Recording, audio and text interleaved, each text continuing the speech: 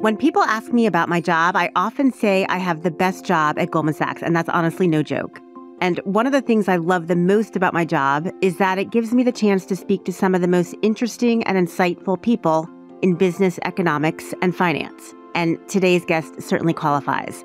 Rob Kaplan ran the Dallas Fed from 2015 to 2021. Before that, he was a professor at Harvard Business School and the global co head of investment banking here at Goldman Sachs. Earlier this year, he rejoined Goldman Sachs as vice chairman, so I am proud to call him my colleague again. Today, Rob is joining me from our Dallas office to speak about the Fed's rate cutting cycle, the interplay between monetary and fiscal policy, and what investors might be missing about this unique economic moment. Rob, thanks for being here. Great to be here with you, Allison. The Fed is continuing its cutting cycle. As we all know, it brought down the Fed funds rate by another 25 basis points last week. And it continues to try to walk this tightrope of bringing down inflation without tanking the economy. We'll get your views on what could be ahead, but let me first ask how good of a job you think the Fed has done so far in orchestrating a soft landing. It's done a good job in orchestrating a soft landing. Part of the thing that's helped them orchestrate that soft landing is that fiscal policy has been dramatically more accommodative, more stimulative than we're accustomed to. We've gone from pre-COVID 70% of GDP to over 100% of GDP debt of the US government. But people have to realize post COVID, 21, 22, and 23, we've had outsized fiscal spending, particularly these very large directed programs like the Inflation Reduction Act and Infrastructure Act. That has helped the Fed. Now, on the other hand, it's caused the Fed to go higher than they thought they'd need to, five and a quarter, five and a half. It's caused them to stay there longer and it's been stickier and slower for them to cut than they would have otherwise. But as of now, the economy is still growing, even in this high rate environment. So would you judge it as generally a success? For financial market people and more affluent people, it's been a success. For something like 65 or 70 million workers in this country that go paycheck to paycheck make probably fifty, fifty-five thousand dollars a year or less, the cumulative rate of price increases matters more than whether we're having a soft landing right now and heading toward 2%. For them, they've lost 20, 25% purchasing power and their wages have not kept up and they're struggling to make ends meet. And we saw that play out to some extent in this election this week. They probably would not give the Fed as high a grade so I would say being slow to raise rates and stop the bond buying, give, they get a low grade for that. But I think once they did the pivot in 180 to start raising rates and run down the balance sheet, I personally think they've done a good job, but they can't get away from that first period that I think is still causing struggles for a lot of the workforce. Understood. You just mentioned, of course, the big event in the last week, which has been the reelection of Donald Trump. You ran the Dallas Fed during his first term. So let me first ask what that was like to be a sitting Fed official with Trump at the helm of our government. So what you had to learn to do is be prepared to assess new fiscal policies, tax cuts, tariffs, and others, and try to incorporate them in your outlook. The one thing that does change though with administration and is political is supervision. And we had, I think, more constructive benign supervision during 16 to 20. We had more stepped up supervision after that. And so that was something we also had to adapt to. So just to clarify, your term actually spanned into the Biden administration. So you could tell the difference. And supervision was stricter or more stringent in Biden versus it, Trump? It, it actually, it spanned Obama, then Trump, then Biden, and yes, whereas our approach to rate setting was very similar, the supervisory approach changed when the administration changed, and people should be aware of that. And that does affect part of your job as a Fed president. But you said you were able to essentially block out a lot of the noise. How convinced are mm-hmm. you that's going to remain the case? There's some discussion that Trump will not reappoint Chair Powell and may try to influence the Fed to some extent. How do you view the prospect of Fed independence ahead? On the rate setting process, I'm confident under Jay Powell's leadership, they will try to make decisions without regard to political influence or political pressure. They'll have to, though, adapt, which I know we'll talk about in a few minutes, new policies, understanding there'll be some structural shifts and they'll have to adapt to that. And you'll see regulatory policy change again. And I think in between those two will probably be some discussion of the balance sheet in that the Fed has had very strong autonomy in how to use the balance sheet. I think there might be more debate about whether the Treasury should have more power on the balance sheet as well as the Fed. But I, I'd say that's a debate that's yet to come. Interesting. So let's get into some of that. After the election result was known, we saw investors' expectations shift toward fewer rate cuts in 2025.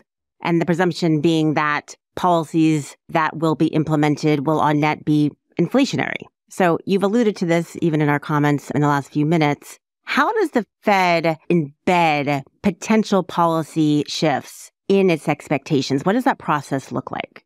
So I'll start with pre-election, my own view, and you probably you've heard me say this. I felt even under the Biden administration and continuation of the Harris administration, if that had happened, I think the, there are two phases to rate cutting. And I think this is the mindset of the Fed before the election. Phase one is they can get the Fed funds rate down to four and a quarter to four and a half if inflation is running around two and a half. However, I think it was going to be stickier than the markets may have expected to get below four and a quarter, four and a half, unless service sector inflation particularly moderated somewhat more and the question was with all this, these open ended fiscal spending programs and with 7% of GDP deficits, would service sector inflation moderate? We know goods are disinflating, but services have been sticky. So that's pre election. Post election, you've got those questions still, but I think you're going to see some changes. And here's how the Fed is led by predominantly PhD economists. PhD economists not exclusively, but heavily look at cyclical factors and they like to use models. When you have a new administration, you're going to get structural changes, may not be amenable to a model. So let me give you the structural changes we're likely heading into. And I think this will get into the Fed's thinking. Heavy regulation currently versus the past in the U.S. economy, not just in the financial sector, but more broadly. We've had a excess supply of labor force growth, mainly due to immigration. That's going to change most likely. In addition, you've got these directed government programs I talked about that are sizable, that are bidding directly on labor. Inflation Reduction Act, Infrastructure Act, CHIPS Act. And that labor they're bidding on tends to create jobs at 35, 37, 50 an hour for people that maybe before that were making 20 or $22 an hour. It's affecting service sector inflation. We're shifting now toward probably a regulatory review with intention of creating more productivity growth. These directed programs, I don't know, but it sounds like they may get stood down or repurposed. And it looks like the immigration growth that we actually benefited from. It's why we're growing at 3% this year. At best, it will get eliminated.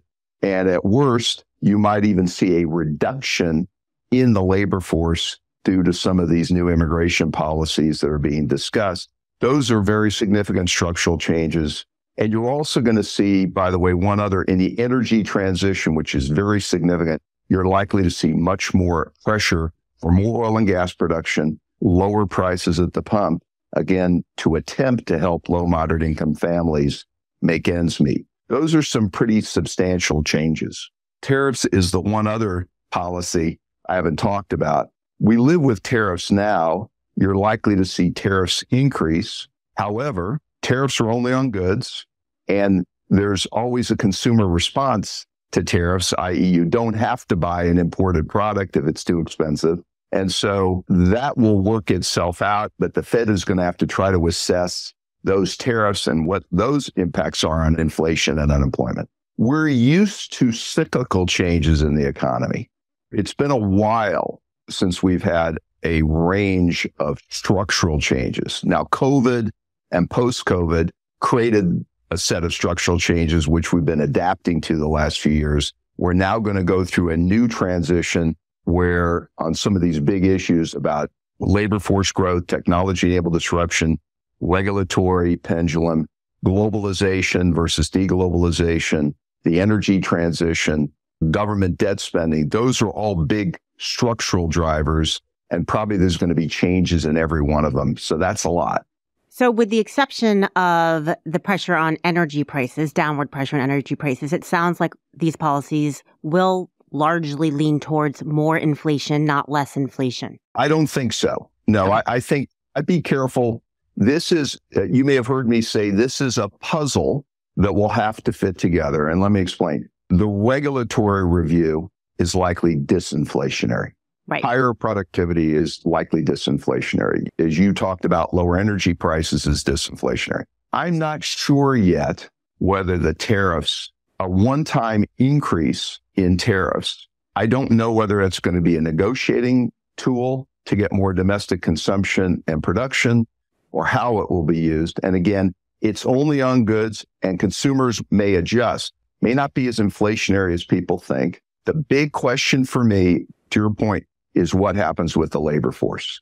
And if you get a meaningful reduction in the labor force, that's going to get stretched.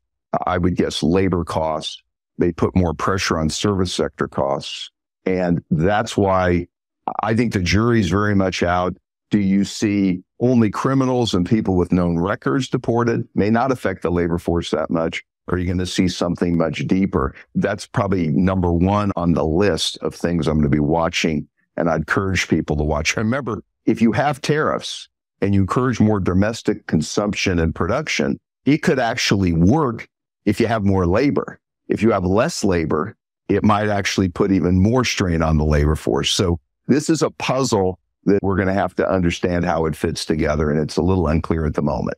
Interesting. A lot of moving parts. So you don't necessarily then share the market's view that the Fed will most likely cut rates less during a Trump administration than would have been the case under the Harris administration because we just don't know yet what these policies are going to look like. Yeah. My strong advice outside the Fed, and if I were at the Fed, is let's be risk managers, not prognosticators.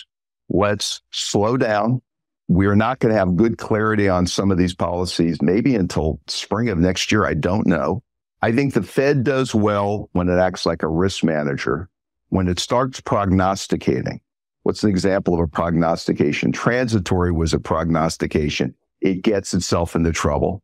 And I think it's okay to admit that there are structural policies are going to affect the landscape. And what you may see the Fed do, and I might be an advocate for this, I'm not as certain. It's likely they'll cut in December, but I'm not certain yet. And I think you may see them take a little bit of a pause, depending on how the rest of the economy unfolds, to try to allow themselves time to understand this better. And I'd be careful not to be rigid or predetermined if I were at the Fed. And I think that's an important point you just made because I was just about to ask you about what this all means for December.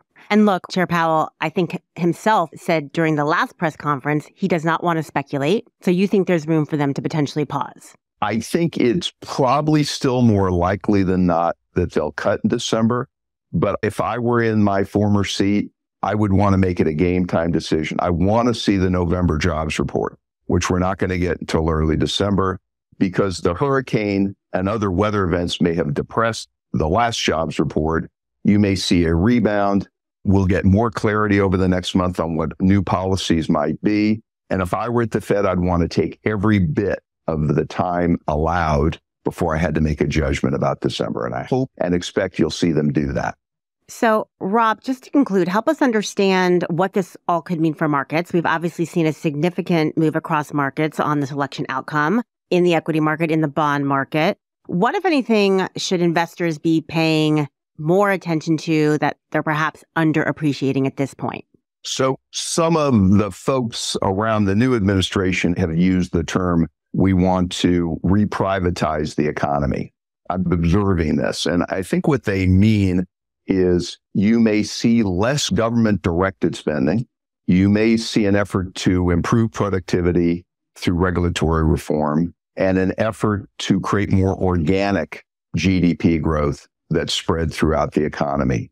What could that mean? It could mean, interestingly, that top line GDP growth might actually be lower. In other words, I don't know that we can keep growing at 3%. It might be closer to two, two and a half than three.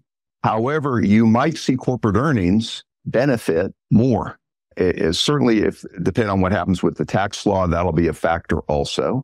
And so the one thing I would say if I were advising people what to watch first, second, and third, to me, the labor force and what's done with the labor force is probably right at the top of the list. Tariffs would come behind that. But if you simply stop the growth in immigration, that's one set of facts. If you actually reduce the size of the workforce, I think you're going to need an adjustment through technology and technology enabled disruption accelerated. What's an example? Robotaxi, driverless car. So I think people should be thinking about it as a puzzle. Don't get hung up on too much on any one policy. It needs to fit together. But I think where there's a chance that you could see more organic growth, better earnings from corporates, obviously be positive for the markets. And I think some of the inflationary budget impacts are not yet clear to me, but they'll become clear as policies become clear. Rob, thanks so much for your time today. Thanks, Allison. Good to talk with you. This episode of Goldman Sachs Exchanges was recorded on Monday, November 11th, 2024. I'm your host, Allison Nathan. And tune in this Friday for the first episode of our new four part series on the changing dynamics at the intersection of sports and finance. We'll be discussing the scale of the investment opportunity and hear from team owners and leaders who are at the forefront of the transformations happening in the industry. Look for it wherever you get your podcasts.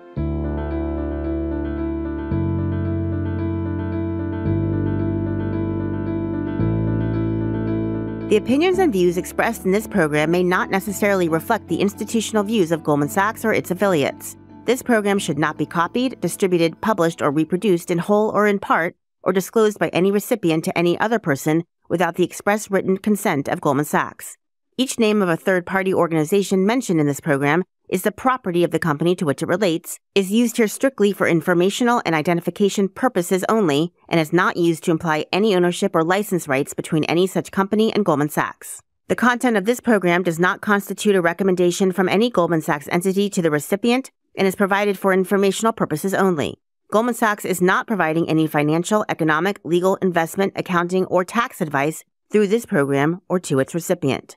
Certain information contained in this program constitutes forward looking statements, and there is no guarantee that these results will be achieved. Goldman Sachs has no obligation to provide updates or changes to the information in this program. Past performance does not guarantee future results, which may vary. Neither Goldman Sachs nor any of its affiliates makes any representation or warranty, express or implied, as to the accuracy or completeness of the statements or any information contained in this program and any liability therefore, including in respect of direct, indirect, or consequential loss or damage, is expressly disclaimed.